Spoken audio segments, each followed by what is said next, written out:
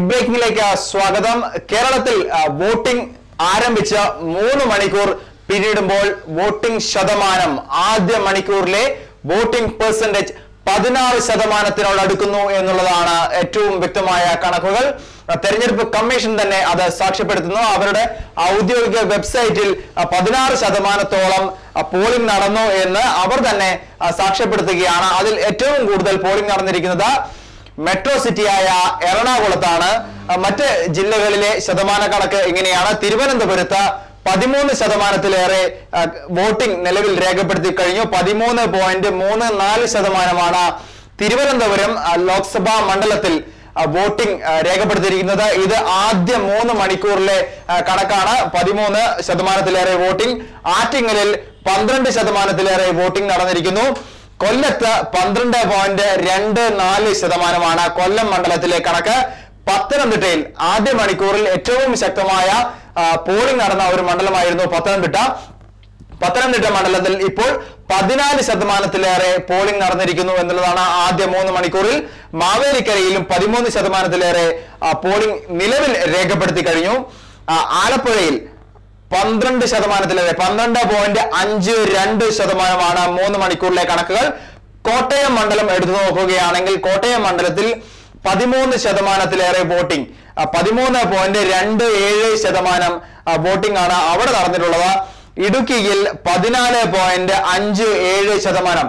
ഇടുക്കി മണ്ഡലം കോൺഗ്രസിന് ഏറ്റവും കൂടുതൽ സാധ്യത കൽപ്പിക്കുന്ന മണ്ഡലമാണ്. നിലവിൽ എൽ ഡി എഫിനാണെങ്കിൽ പോലും യു ഡി എഫ് പ്രവർത്തകർ തങ്ങളുടെ വോട്ടിംഗ് ആദ്യ മണിക്കൂറുകളിൽ തന്നെ രേഖപ്പെടുത്താനുള്ള തിരക്കിലാണ്. ഇപ്പോൾ അവിടെ പതിനാലിലേറെ പതിനാല് ശതമാനത്തിലേറെ വോട്ട് നിലവിൽ രേഖപ്പെടുത്തി കഴിഞ്ഞു. നേരത്തെ സൂചിപ്പിച്ചതുപോലെ എറണാകുളം മണ്ഡലമാണ് അടുത്തത്. എറണാകുളത്താണ് ഏറ്റവും കൂടുതൽ വോട്ടിംഗ് നടക്കുന്നത്. മൂന്ന് മണിക്കൂറിൽ തന്നെ പതിനാറ് ശതമാനത്തിലേറെ വോട്ടിംഗ് സ്വാഭാവികമായും മെട്രോ സിറ്റിയാണ് ആ മെട്രോ സിറ്റികളിൽ ആദ്യ മണിക്കൂറുകളിൽ തന്നെ തങ്ങളുടെ വോട്ട് രേഖപ്പെടുത്താനുള്ള തിരക്കുണ്ടാവാറുണ്ട്. കഴിഞ്ഞ തിരഞ്ഞെടുപ്പിൽ നിയമസഭാ തെരഞ്ഞെടുപ്പിലും പാർലമെന്റ് തെരഞ്ഞെടുപ്പിലും ആദ്യഘട്ടത്തിൽ ഏറ്റവും കൂടുതൽ പോളിംഗ് നടന്ന മണ്ഡലങ്ങളിൽ ഒന്ന് തന്നെയായിരുന്നു എറണാകുളം. അതേ രീതിയിൽ തന്നെയാണ് ഇത്തവണയും പോളിംഗ് പുരോഗമിക്കുന്നത് എറണാകുളത്താണ്. ഏറ്റവും കൂടുതൽ പോളിംഗ് ആദ്യ മൂന്ന് മണിക്കൂറിൽ രേഖപ്പെടുത്തിയിരിക്കുന്നത് പതിനാറ് ശതമാനത്തിലേറെ. സംസ്ഥാനത്തിന്റെ കൃത്യമായ സംസ്ഥാനത്തെ മൊത്തം കണക്കെടുത്ത് നോക്കിയാൽ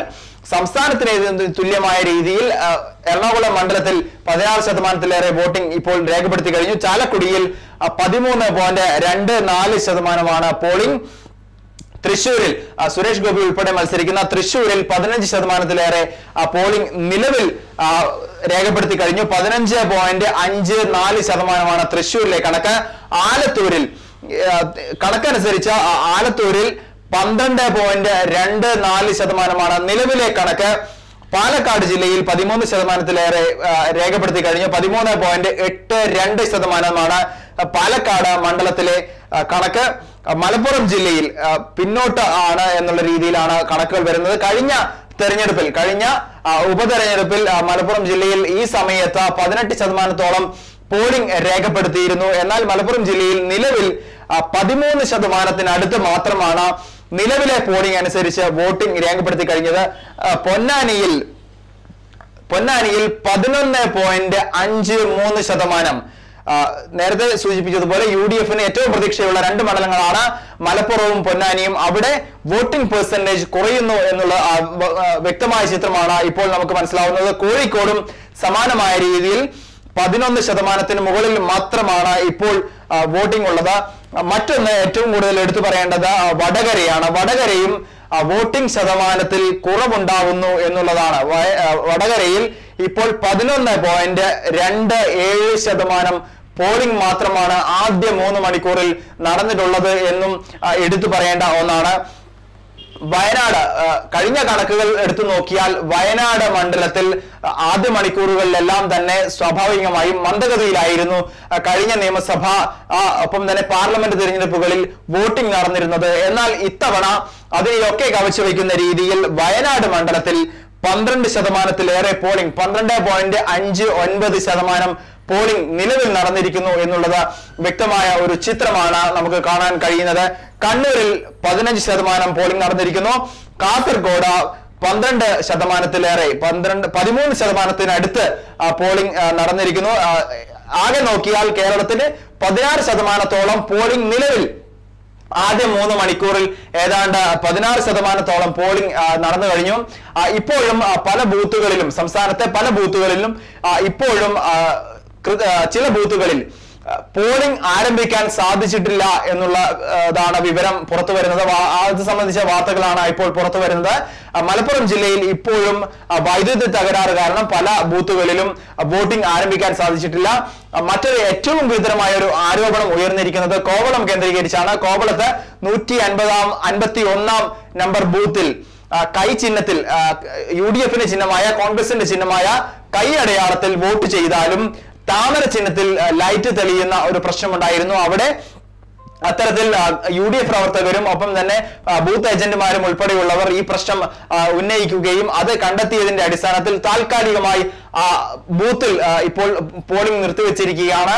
ആദ്യഘട്ടത്തിൽ എഴുപത്തി ആറ് പേർ പോളിംഗ് രേഖപ്പെടുത്തിയ ശേഷമാണ് ഇത്തരത്തിലുള്ള ഒരു പിഴവ് കണ്ടെത്തിയത്. അത് എന്താണ് കാരണമെന്ന് നേരത്തെ മോക്ക് പോളിംഗ് ചെയ്ത് വോട്ടിംഗ് മെഷീനിലെയും വിവി പാറ്റിലെയും കണക്കുകളും ഒപ്പം തന്നെ വോട്ടിങ്ങും കൃത്യമാണെന്ന് ശരിയാക്കിയ ശേഷം മാത്രമേ പോളിംഗ് ആരംഭിക്കാവൂ എന്ന് കൃത്യമായ നിർദ്ദേശം നൽകിയിരുന്നു. എന്നാൽ എന്താണ് സംഭവിച്ചത് എന്ന് വീണ്ടും ക്രോസ് ചെക്ക് ചെയ്യുകയാണ്. അതുമായി ബന്ധപ്പെട്ട് ജില്ലാ കളക്ടർ തന്നെ സ്ഥലത്തെത്തുകയും പരിശോധന നടത്തുകയും ചെയ്യും എന്നും അറിയിച്ചിട്ടുണ്ട്. നിലവിൽ അതുമായി ബന്ധപ്പെട്ട് കളക്ടർക്ക് മുൻപാകെ പരാതി ലഭിച്ചിട്ടില്ലെങ്കിൽ പോലും വ്യക്തമായ അന്വേഷണം ആ സംഭവത്തിൽ നടക്കുന്നുണ്ട്.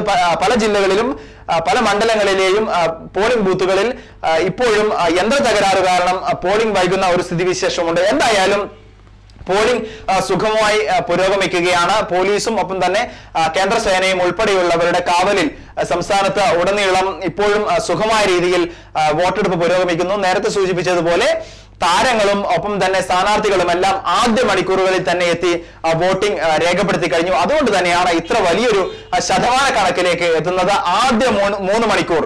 അതായത് ഏഴ് മണിക്ക് ആരംഭിച്ച തെരഞ്ഞെടുപ്പ് പത്ത് മണിക്ക് പത്ത് മണി പിന്നിടുമ്പോൾ ആദ്യ മൂന്ന് മണിക്കൂറിൽ തന്നെ പതിനാറ് ശതമാനത്തിലേറെ വോട്ടിംഗ് രേഖപ്പെടുത്തി എന്നത് പ്രത്യാശാഭരിതമാണ്.